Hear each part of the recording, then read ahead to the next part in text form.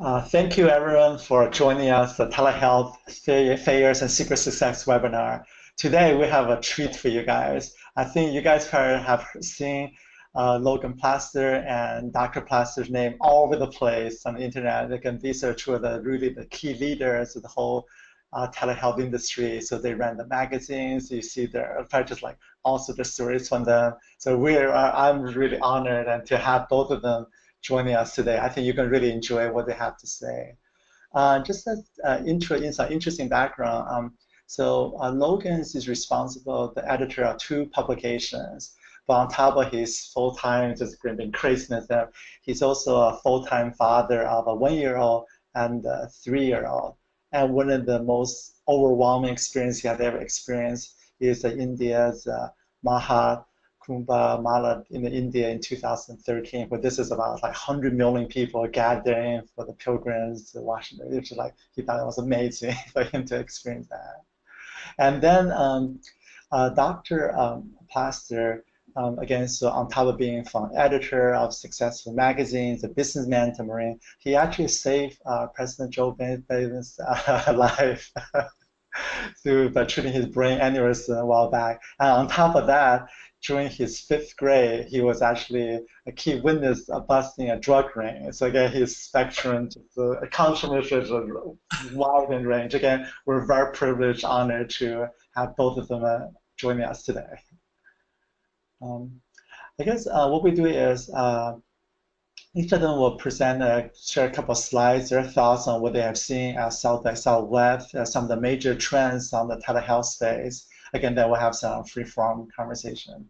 I guess, um, Logan, do you want to kick it off? sure. Thanks, Milton. I really appreciate you uh, allowing us to come on and appreciate the work that, that you've done with this webinar and just getting information out there. So I'll just jump right in. I try to be uh, relatively concise. Uh, in my work, editing telemedicine, I get to talk to a lot of CEOs. Uh, almost once a day, I'm talking to somebody who leads a company in the health tech space. And the, the value propositions, they span the gamut. And so uh, when you asked us to talk about trends, um, that was challenging. But in the conversations that I've had recently, there was one thing that really stuck out as something that I wanted to wanted to mention. Um, and so instead of talking about five different trends, I really want to drill down into one big idea and separate it out into its few component parts. Um, and this is something that I think is optimistic for the market and something that's gen genuinely exciting. So the, the big idea is that uh, I'm seeing more and more companies uh, moving beyond what I'm going to call shiny toy syndrome and into an area of into an era of critical infrastructure building. Um, you know, I think we're moving away from uh, as many get-rich-quick app ideas and into the area of building durable infrastructure. And, um, you know, new gadgets and one-off concepts are great, but they present a couple of key problems that I've gotten to see firsthand over the last three years. Uh, which is the first idea is the idea of conflicting technology. Uh, we're seeing, you know, I, I have a friend who runs a telemedicine program in a hospital, and he's got three different telemedicine programs that he has layered one on top of another. One for in-hospital telemedicine, one for um, direct-to-consumer. He's got a third program for uh, remote uh, patient monitoring. And these systems are layered one on top of another, and it's it's really kind of a kind of a nightmare for him. Okay, and the second problem is simply app overload. And this we've seen with the magazine year after year with, there are nearly 260,000 medical apps on the, two, on the two app stores. And so you have to ask yourself, how many apps does the average consumer actually need? What is the appetite for apps? There's nothing wrong with a good medical app. There's nothing wrong with a good new gadget. Um, we have to ask ourselves these questions. Um, you know, there's some really exciting ones that I'm excited about, like uh, like Addicaid, which is a new app for addiction treatment. And there's a there's an app that uh, that we just interviewed the founders of called Cold Gene. That's basically the Airbnb of genetic testing. So there's really there's cool stuff coming out. Um, however, with 260,000 apps on the market, you have to you have to really ask some critical questions.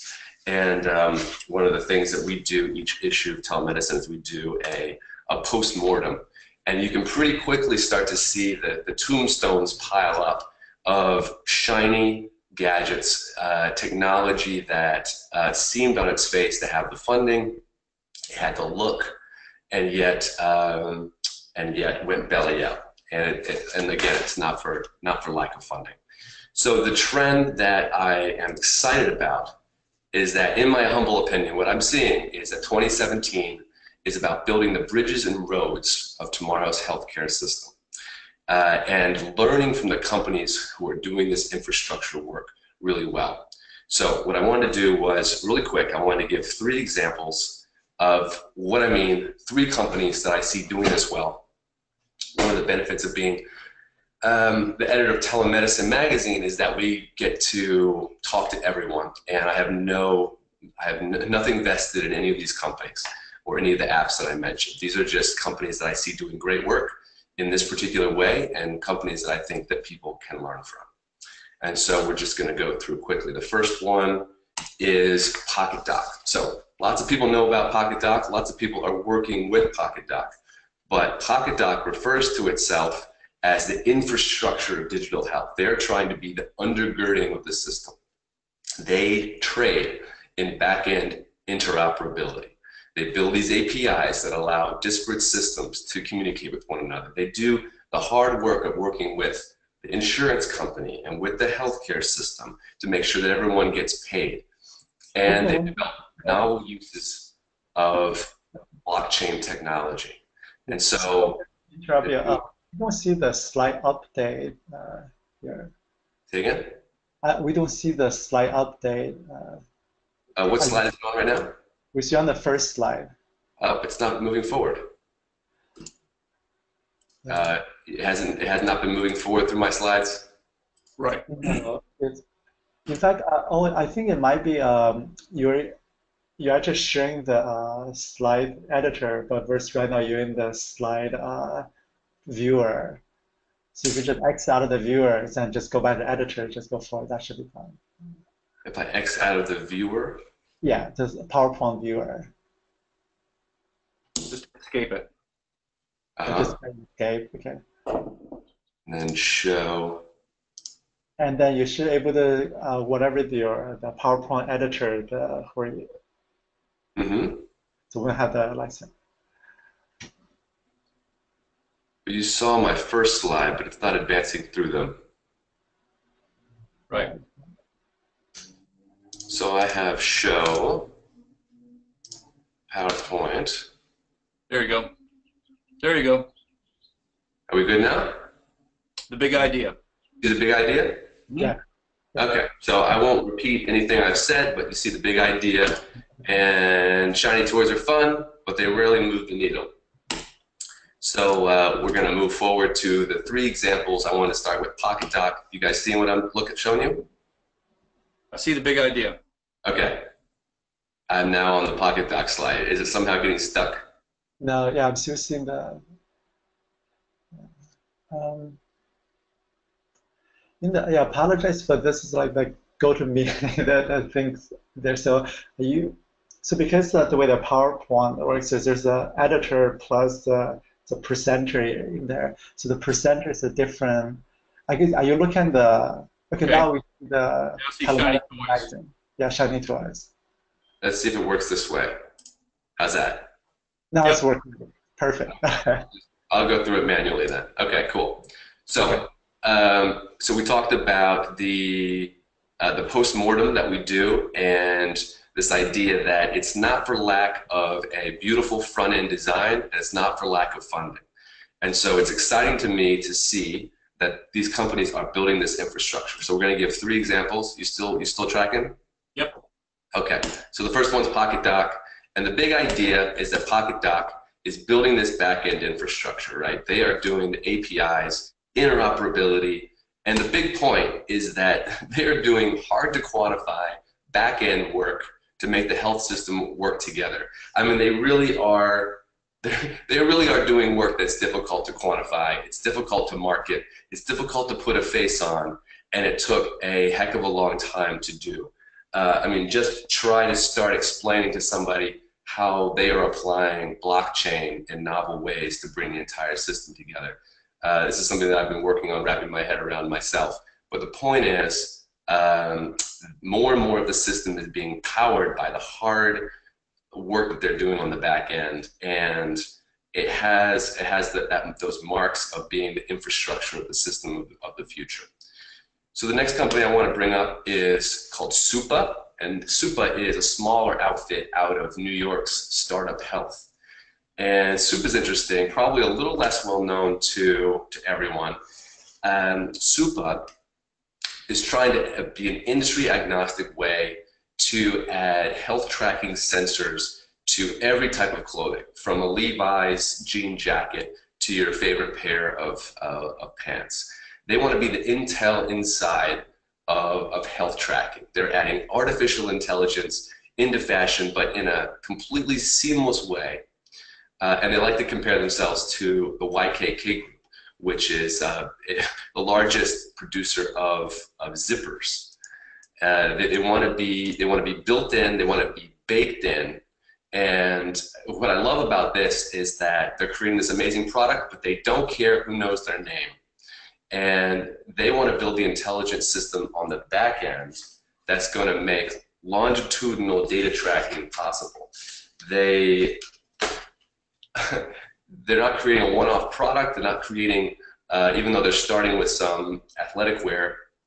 The idea is to be absolutely industry agnostic and to not be one more layer, but to be baked in into everything that you do.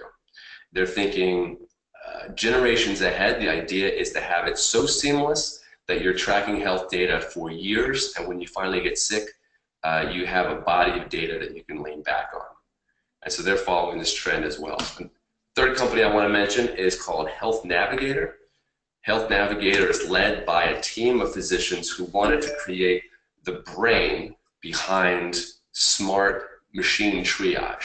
They have no desire to create front-end applications. Uh, they don't want to create any direct-to-consumer products.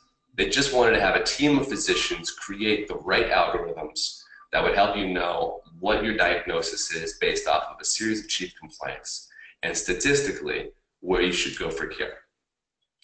So, in other words, what's important about that is that, again, they are industry agnostic.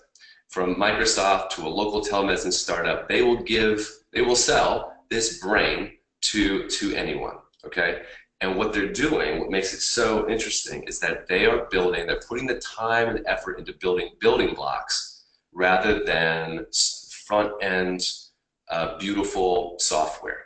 They, they're building the building blocks in order to help the system forward, bring the best clinical data that the market has uh, to the forefront. And so that's just a quick a quick overview of three companies that excite me because they seem to fall in line with this trend of building infrastructure.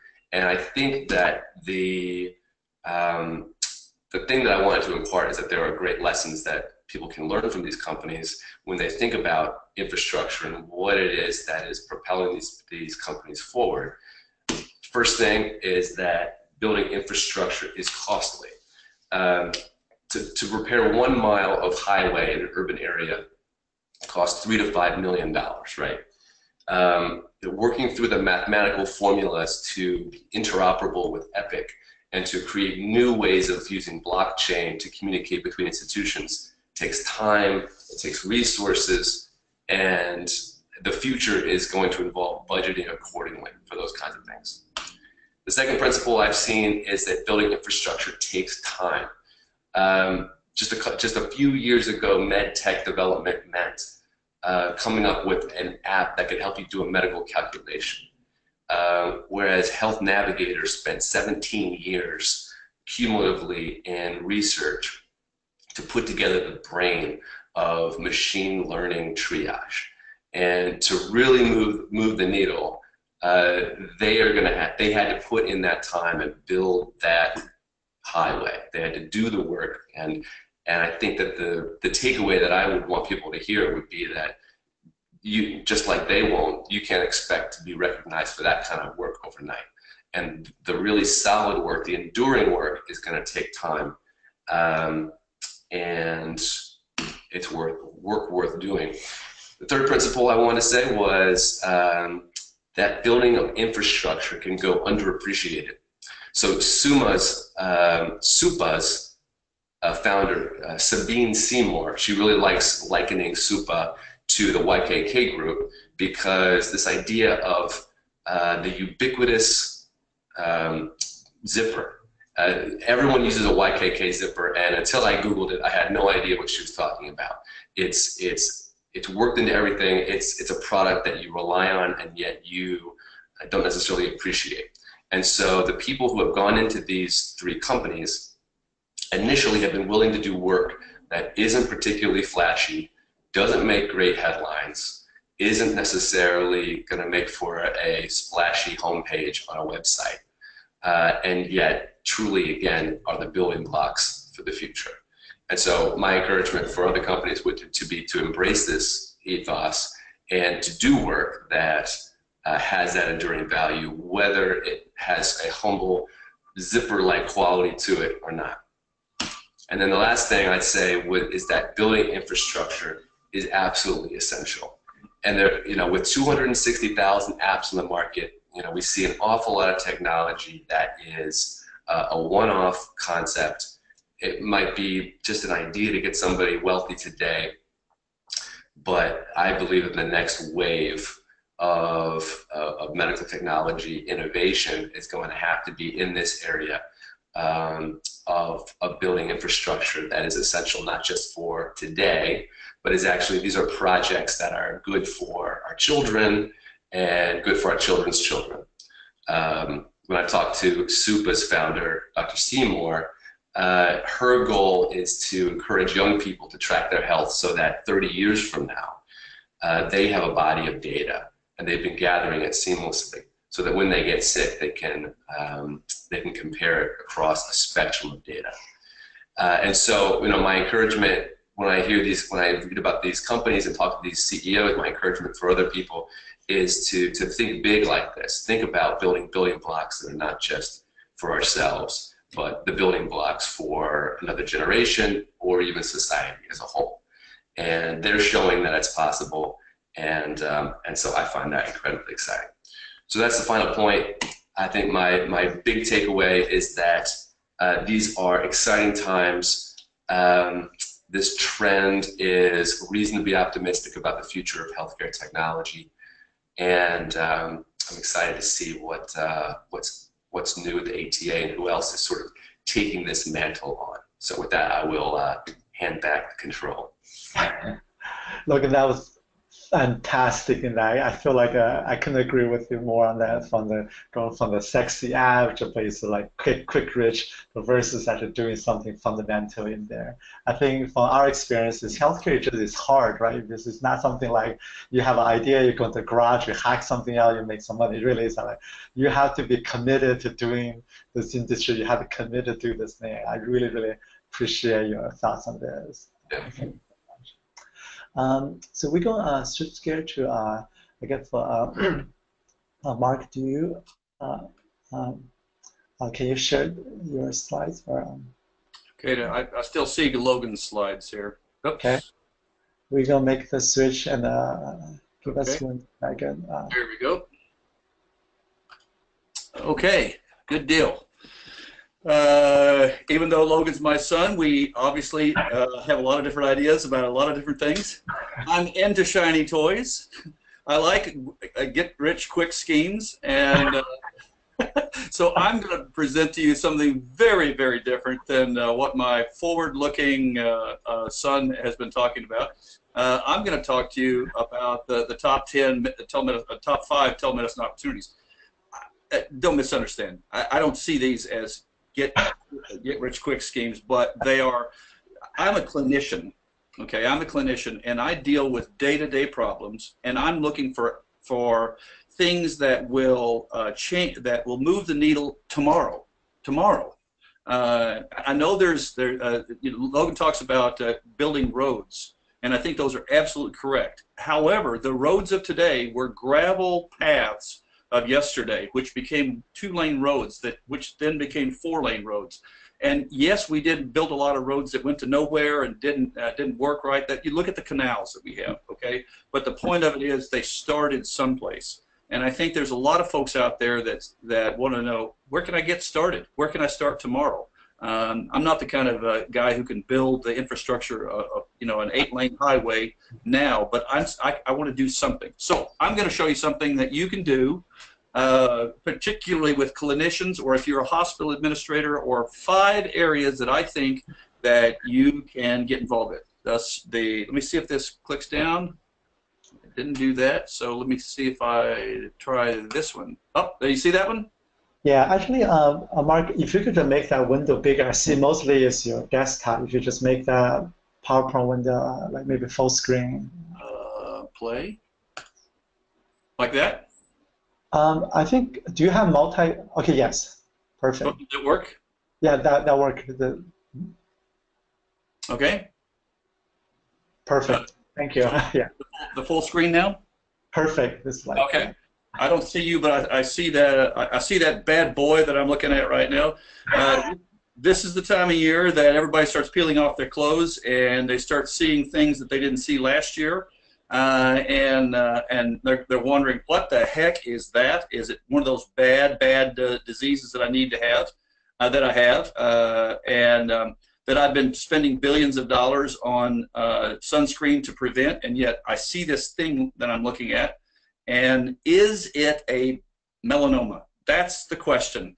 I will tell you that 280 million people right now have will will at some point look at something, some lesion on their skin, and say, is that a melanoma? Um, you know, I don't see uh, it. So uh, Telederm presents an opportunity. Uh, let me see if I go to the next slide. There we go. Telederm presents uh, an opportunity for uh, people to meet a, a, a, need that is right now, answer a very specific question. Teledermatology has had trouble because it tried to be too many, uh, too many things to too many people. There is one question, and that is, what is this mole? What is this mole?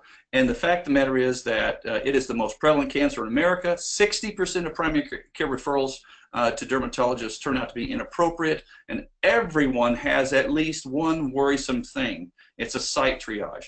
And the point of it is, here is an opportunity for a, a, an individual who teams up with a dermatologist, even if the dermatologist is not already doing it, to, um, to get people to send pictures uh, of uh, lesions and uh, get into a dermatologist's office essentially uh, by being pre-screened. Okay, uh, I've I've had a, a, melanoma years ago, and so, and as a result of that, I, I, had to go to a dermatologist every six months for a body scan. Let me tell you, it's like being the star of a peep show. You strip down naked and you stand there, and the guy goes up and down your body with a with a uh, uh, magnifying glass. It's humiliating, and I quit going for that very reason. Uh, I'm telling you that, that there are still lots of lesions that people have that they would like to know what they are, and if they could take a picture of it in the privacy of their home and send it to somebody, and and you could make the, the, the call that yes, this needs to be screened by by a dermatologist or a biopsy, or no, this is some other kind of lesion that you needn't worry about. Those are simple things that need to be done, and I and I I, think that it's likely. I, I think it's been proven, in fact, that people will be happy to, to spend a little bit of money on that. Number four, number four, tele-ICU, okay? This is one of the, the, the problems with um, uh, small hospitals, and I just read the other day that another hospital, a small hospital, had had uh, gone under, had closed its doors. And one of the reasons is that the really sick people always get sent out, and the really not so sick people get sent home. And so what happens is that the function of the community hospital has largely found its, they found themselves in the middle. And um, the, if they could utilize tele-ICU, utilize teleconsultation, they would be able to keep their doors open to the community that they're in. It brings smaller hospital, and from the, if you are at a, at a large tertiary care center, which uh, someone watching this uh, uh, this uh, seminar uh, would likely to be. It, you can bring hospitals into your network. Uh, it allows marginal patients to stay stay local. Your the, the intensivists, the emergency physicians, the qualified practitioners that you have in your facility are able to extend their capabilities to these smaller hospitals. And the ones that don't need to come stay there and they feel comfortable holding them at that hospital and taking care of them. The ones that, that need to come will come to your hospital. Uh, that expands your network. Uh, it's, it's a win-win. Um, it screens out inappropriate referrals. One of the things that uh, in emergency medicine that we know about are uh, referrals, uh, patients who get sent to tertiary care centers who really and truly don't need to be there. Um, and tele-ICU and teleconsultation, even from the emergency department, is a way to do that. Uh, the, the technology is already there. There are people like uh, uh, all over the country that are currently doing it. And I would say that if you are a hospital administrator uh, in a competitive market and you have smaller outlying hospitals that you would like to start referring into your facility, the way to do that is to institute a program in tele-ICU, tele-ER. Um, it obviously brings teleconsultants uh, to the uh, rural areas as well. Next, number three, we're, working ourselves down from five. Um, telemonitoring, okay? This is um, chronic conditions. Uh, again, the vast majority of the money that we're spending in healthcare right now is on chronic conditions. It's really the top three or four, diabetes, COPD, CHF and hospitals that have an impact uh, that are impacted by global budgeting uh, are going to want to work to keep these folks out of their hospitals if they can. And um, by doing so, you as a clinician or you as a hospital entity, if you can treat these folks at home uh, by using uh, lower level uh, uh, providers or concentrating the, the decision making of the providers through a telemonitoring system, uh, you can save money. You can save money for the individual, um, and certainly you'll be the darling of the insurance company who's taking care of them because your your costs will be will be lowered as well. It becomes a, a, a clinical practice of dashboards and case managers versus patients being sent to the ER.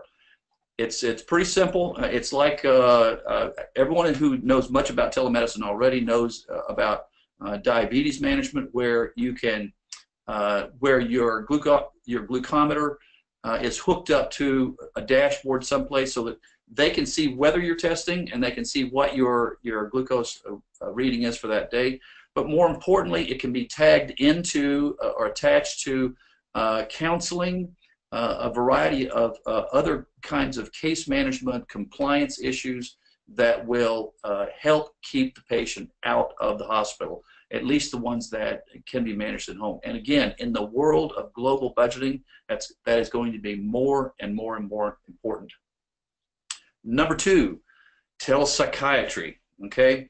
This is uh, what I believe is uh, an area, telepsychiatry and telecounseling, okay? I, am part here in Maryland, uh, and I, I, think you saw my uh, coffee cup. Uh, here in Maryland, I'm uh, on the governor's task force to deal with the heroin problem. And um, one of the things that we have found is that we can get we can concentrate these uh, patients all into one campus, and then everybody within a half a mile of that campus uh, complains about having all the heroin addicts in town in one area, and it completely um, they feel that it completely destroys the area. When we've talked about uh, expanding and decentralizing uh, these efforts, uh, the one thing that has been difficult to do is what do you do about counseling? Uh, because counseling is the most important um, part of, or one of the more important parts of uh, the opioid treatment for the opioid epidemic and the opioid dependent. And telepsychiatry offers an opportunity to uh, use a psychologist, a psychiatrist, any kind of counselor, a substance abuse counselor, or whatever, or, or multiple kinds of uh, fields of, of uh, whether it's uh, dealing with uh, this marginally schizophrenic or whatever. Uh, uh, the functional schizophrenic, not marginally, but functionally schizophrenic.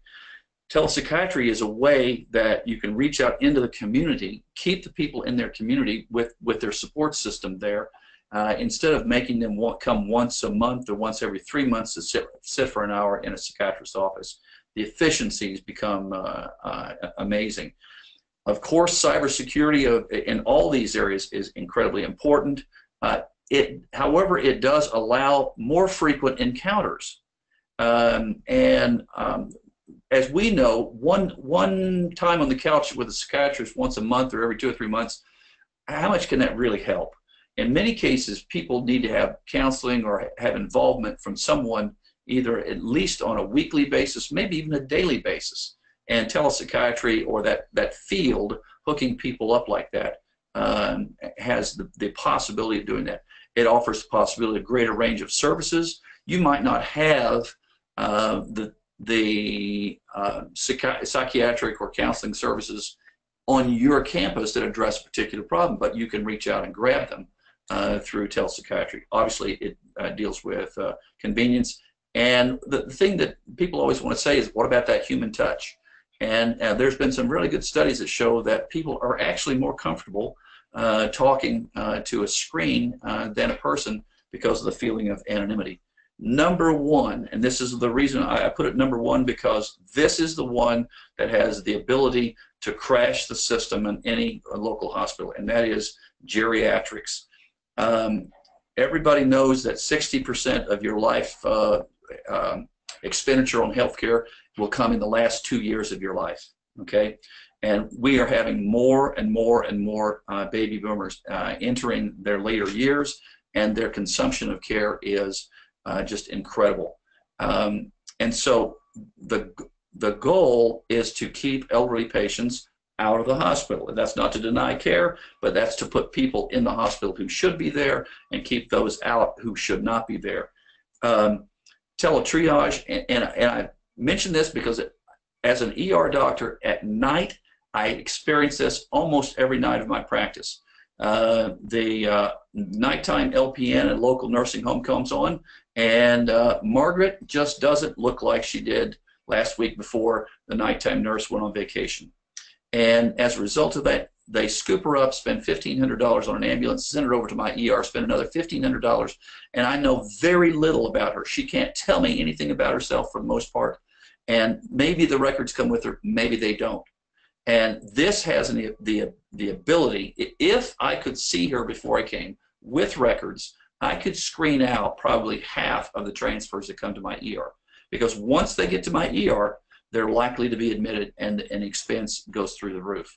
So any hospital that has uh, uh, global budgeting, again, I keep going back to this, pay for value, uh, that, that concept, there's an immediate impact, immediate because we are able to, to deal with the staff before the patient is transferred.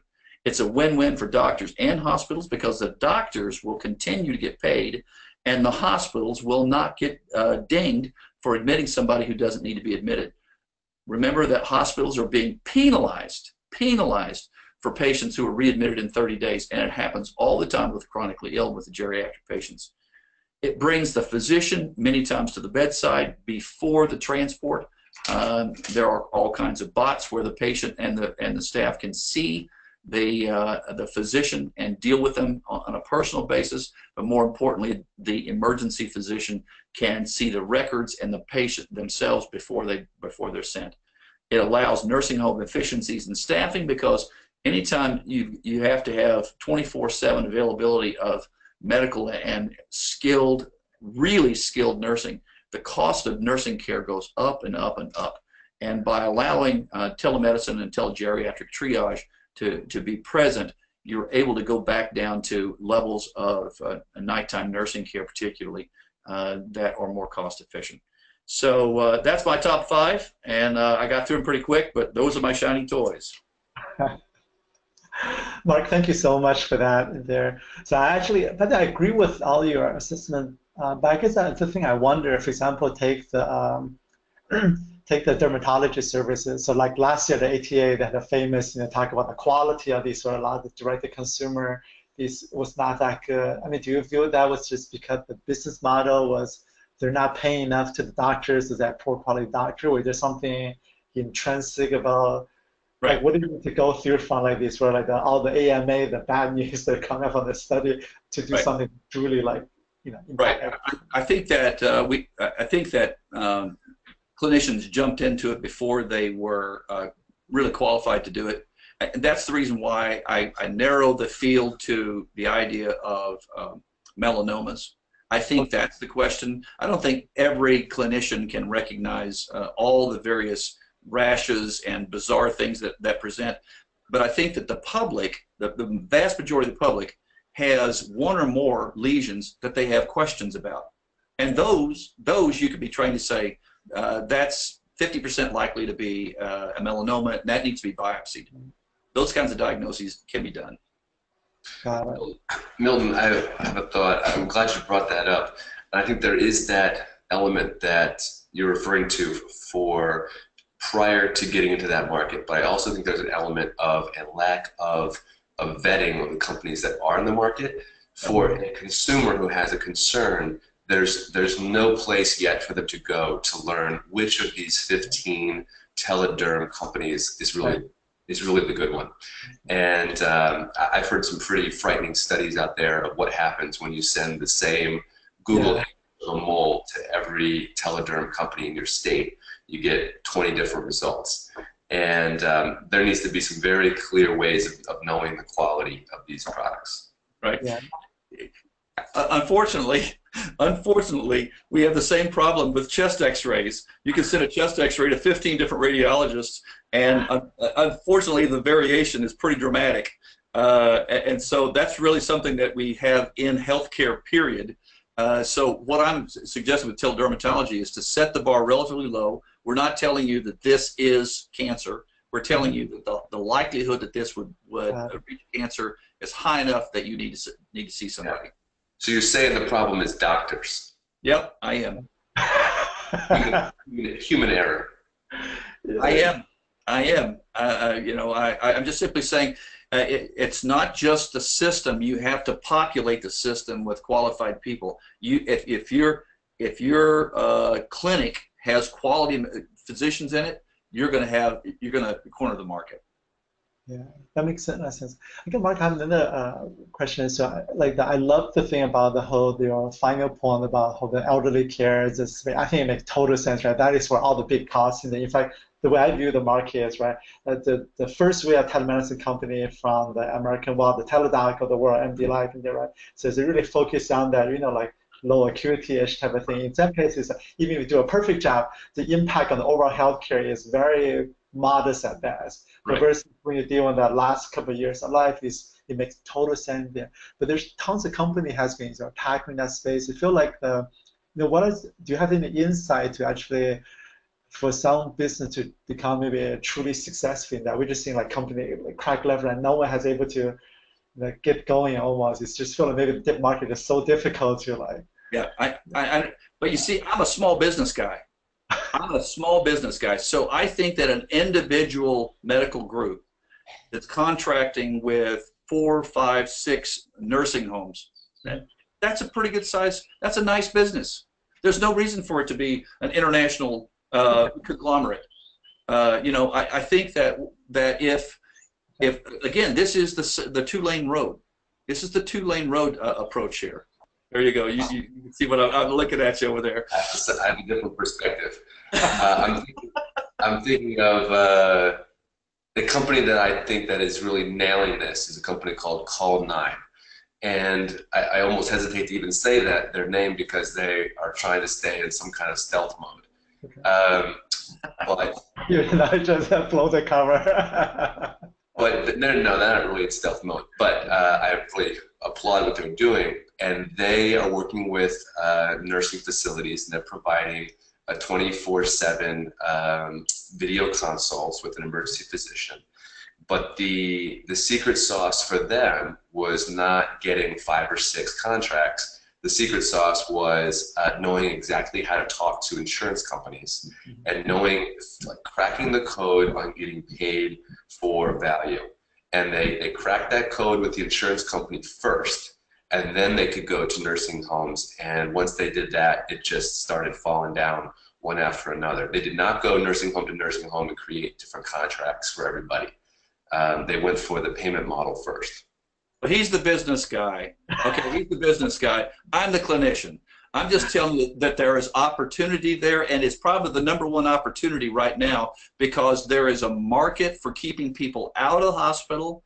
And if clinicians can crack that market by talking to the insurance company, okay, and then you have a whole a whole business uh, model right here for clinicians. If there are clinicians out there listening to us today, then they need to understand that there are patients coming, every time a patient comes from a nursing home to an ER without having been pre-triaged, that, that's, that is part of the market that we could, we could crack.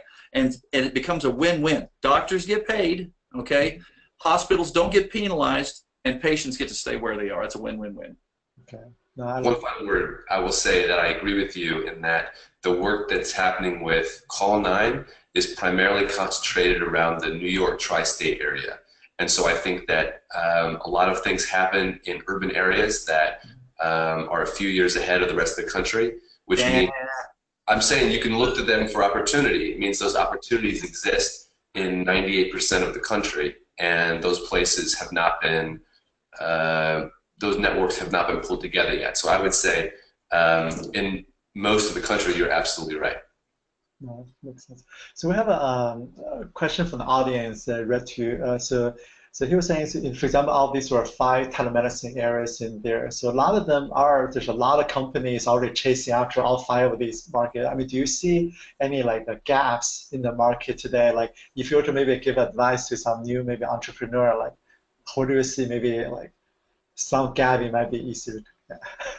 I, I have I, I, have something that I desperately need to have, and and my son probably knows the person who's already doing it. Okay, but I, I believe that uh, the front end history taking right now, uh, we have all these algorithms. He was talking about uh, a company that was doing the algorithm is trying to make the diagnosis for you. I frankly think that's not going to be useful. It's like having a, an autopilot without a without a pilot in the in the cockpit.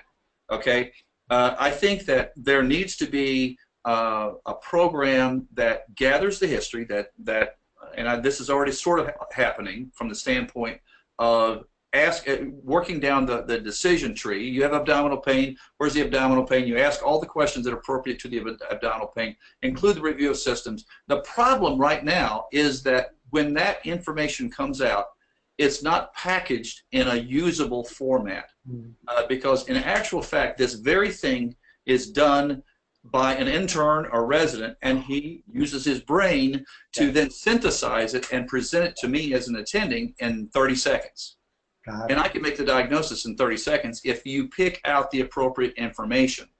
Okay, and and it's okay if you have uh, navigator. I know. it, you know, but what Health Navigator though is trying to tell you what it is. Okay. No, it's not. The Health Navigator is uh, is the autopilot. Okay. It's, it's, I'm not promoting. I'm not promoting the company, but you and I have had this conversation a lot and uh, they're a new company to me, and I think they're they're beginning to do what you're talking about. As I said, he probably knows um, somebody who's already doing what I need to have. I just haven't found them yet. But I think that that I think that that is a, a big, big opportunity, and I think that when that that system becomes interoperable with all the various history where it could be transmitted to a doctor's office, to an ER, to uh, to other places, when that that that labor, that time-intensive history taking becomes uh, condensable, and understandable. No, that, that's really good advice. I, I better do, I'm, as a formally trained designer and a human factor, it's just a, the difference of how you present the information has a huge right. impact. In fact, our hypothesis for the whole telehealth industry is most of these telehealth systems today, just two minute click, is actually is very bad for the provider in terms of productivity, and that's why it hasn't taken off in there. And in general, we think like between the three P's, right? Patients loves it because it's convenient. Payers love it because they distribute the cost. And the provider, not so much because the, the incentive for them is not that high. It's not like they're going to get more paid if they do telemedicine, but now you're giving them all that extra work dealing with complex user interface. And no wonder people are not that like crazy. I, I, was I was a consultant for an ER that their door to doctor time was 70 minutes. 70 minutes. So we went in and we looked at, to, to see where the doctors were spending their time, and they were spending two minutes for at the computer for every one minute they spent at the bedside. yeah. Okay. And we, we went in and looked at their systems, revamped their systems, and went from 70 minute door to doctor to seven minute door to doctor. Okay. Okay. And and that's when you have a system that really helps you. Yeah, Okay. I agree. That, we have another questions from uh, John in the audience. So, so the question is, um, so what are your thoughts on in terms like the school-based telehealth programs in there? Do you feel like this is a new hot trend, where this has pretty become the norm? Uh, Uh, we've written about telehealth in schools a couple of times, and um, I couldn't be more excited about the positive impact of telemedicine in schools, particularly for rural areas. Um, the data coming out uh, has been incredibly positive in terms of keeping, um, keeping parents at work, keeping kids in school longer. Uh, when they add up the number of days that um, telehealth in schools gains back for parents uh, in terms of the economy. I mean, it's millions of dollars. Uh, when you when you think about lost productivity, think about a, a single parent um, with a child with a with a slight cough, uh, and you got a worried school nurse. So the idea of being able to treat them in place, keep them in school a little bit longer, is fantastic. I guess with Logan, we see like, sorry, Mike. I, I will just simply say that the, the, the school nurse uh, issue is the opposite uh, of the calendar of the uh, nursing home. Put yourself in the role of a school nurse. She's got zero backup, zero lab, and, and with a little kid with almost no history, okay? And the kid tells her something, you know, she has no clue or he has no clue whether this is serious or not. And the, the knee-jerk uh, response is, just like the knee-jerk response of the nighttime nurse in the nursing home is, send them to the ER, send them home. And that has huge ripples with, within the family. The mother or father have to come home from work. They go. To, they naturally end up going to the ER because they want the kid going back to school. Uh, no, I, he's absolutely right. Uh, the school-based telemedicine has huge potential. Got it. I guess so, like in terms of schools in there, so for example, at VSee we have this where SDKs where we're licensed with a bunch of people in there. We see um, people when going to the school, it's unclear how they will make money or pay for there. I mean, do you see this is something where, and the value created for everyone is clear, but who actually pay for these services? Is it more that like, do you see, you know, like, Well, you're going to have to convince. I, I think you're going to have to convince uh, school systems that it's worth, uh, and, and this goes all the way to the state, okay, uh, and to the uh, local government that paying for school, because, you know, I'm a, I'm a politician actually. I think you just gave me a great idea, because if a school was willing, if a state was willing to uh, institute a telemedicine service that would cover all their schools, okay, they would keep kids in school, all these uh, phony baloney complaints. They would Yeah. keep parents at work, yeah, okay, um, and it would uh, it would more than pay for itself. Uh, uh, you could you could uh, I, I don't know you, you could have some sort of an enrollment uh, from the parents' uh, perspective, a small fee, or it could just be picked up by the state. Yeah. That makes a lot of sense. In fact, um, so we've been advising a lot of these companies who like, let's say, license. We actually say, you know, that market is right is is because so difficult to make money because of the legislation or anything. It's almost like you're trying to solve a problem that many times above your pay grade. So you should actually stay away from that because it's going to be make create value, but you're not going to make you know make money out of it. Then you're going to have a you know difficult time to. Yeah. Right. I think you might have to actually go to the uh, start at the school level or even the Yeah. state level to authorize uh, something like that, and then you know if you made the case for it and the legislature uh, bought into it, uh, they might who knows politicians they might hand you uh, a bucket load of money to do something. No, no, no, no. Okay, look. I also, I also think it speaks to the idea of consolidation within the market because um, there's not a there's not a business case for a small company to try to uh, service, let's say, six schools. There just isn't. But if you have a hub and spoke model and you have got a great central digital hospital, I'm thinking of somewhere like Avera eCare in Sioux Falls, uh, yeah. you're already doing telemedicine at 300 facilities, and to add on 14 schools is almost nothing. Uh, you just fold them into the system.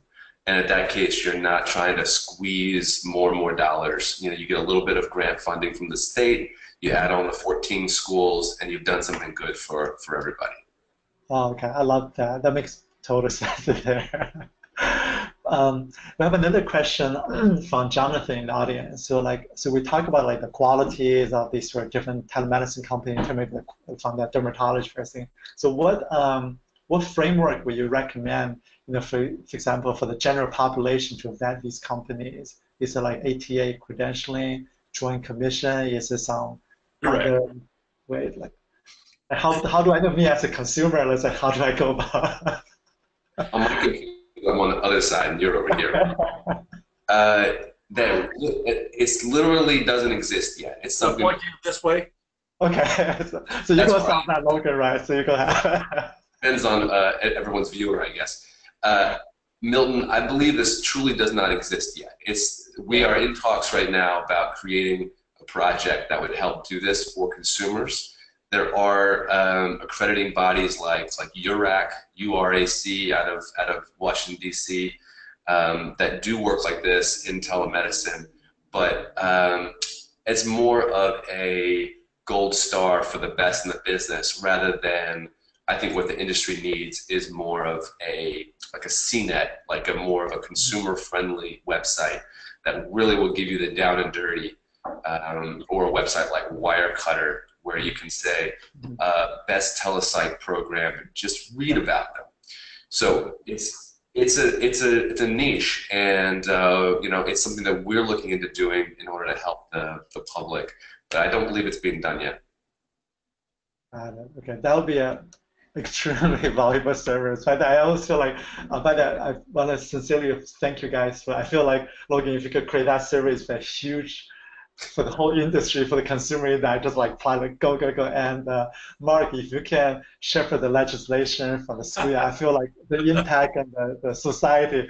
I'm just like applauding you guys, like do your great work and you know help the rest of us. And that thank you so much. Thanks, thing, uh, as we come to I apologize for the audience. That we have a bunch of questions queued up. I apologize to the audience. We're not able to get to your question, but we will pass these questions back to, to Mark and Logan. Then we'll post them after the uh, uh, webinar so you can see some of the answers there. Again, so as we're closing the uh, webinar, I would like to maybe ask uh, maybe it's for three questions. But the first question is like, uh, you guys uh, share a bunch of things that's really insightful today if you if the audience can only learn one thing from you today, like like what would you want the audience to learn from you? What is that one thing? You're youngest. You get to you get. um, I think I'll pull from uh, the points that I was going for, and uh, even though I appreciate the pragmatism um, of our elder statesmen, I would say uh, think think big and think for the future. And it's it's really worth it to do the extra work, even if it seems humble, if it seems like you're building zippers uh, to create the building blocks that will be sustainable for the future. I would say that with the gray tsunami coming, uh, we have to uh, have to figure out ways to keep uh, our uh, elders uh, me being included in that, uh, we healthy and out of the hospital in low-cost settings because we have the ability to crash our healthcare system and our country in the process if we do not figure out how to treat our uh, the older patient uh, uh, compassionately, with quality care, with time, uh, timeliness, and I think that the, really the only way that, that we can do that is to develop a, a an efficient uh, tele, uh, telehealth system. That makes a lot of sense. Then the next question is, um, so I you guys have seen so many stuff from just like different companies, the trends in there. So um, what is this like uh, one thing in telehealth that you believe that the rest of the world do not believe yet? Mm. You go first. well, um, I, am just going to go back to the. There was recently a RAND study. Okay. okay a RAND study which uh, tried to suggest that telemedicine uh, was not going to lower costs. Yeah. Okay. And uh, I think that um, uh, we we believe that telemedicine and te uh, is is going to lower costs in a variety of ways. And I think the RAND study was was uh, the model was poor. I, I mean, RAND has no axe to grind. I think the way they went about it was was wrong. And I think as a result of that, we are plunging forward with the notion that tele telemedicine is going to reduce costs. And I think a lot of people don't uh, are yet to be convinced of that. You know, I, I think that there's a, a myth that the future of telemedicine involves physicians working from home in their, uh, you know, in a scrub top and pajama bottoms. Oh, don't tell me that.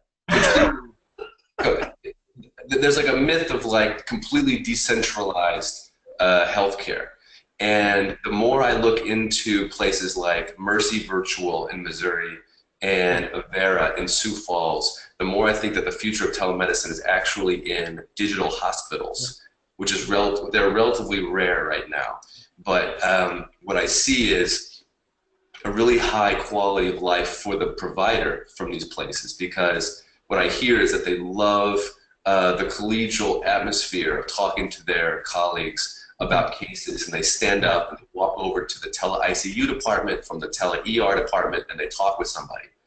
And and so I, I think those places are kind of somewhat unknown entities to the public right now, but I think that they have huge promise, and I would. Um, I would see that as a very positive future uh, versus completely decentralized healthcare. That makes a lot of sense.